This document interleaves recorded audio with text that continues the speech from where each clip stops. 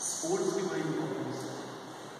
हम जब जैसे स्कूल में करते हैं, उस समय स्कूल में बताया हमारे स्पोर्ट्स का आवर होता है।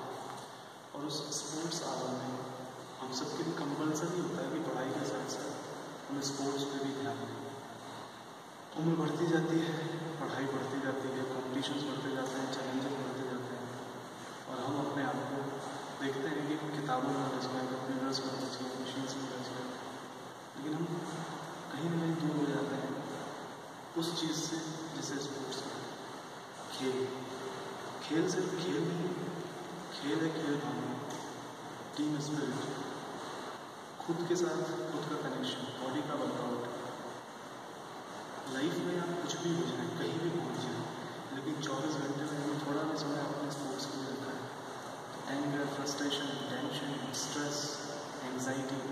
सबको हम दूर कर सकते हैं।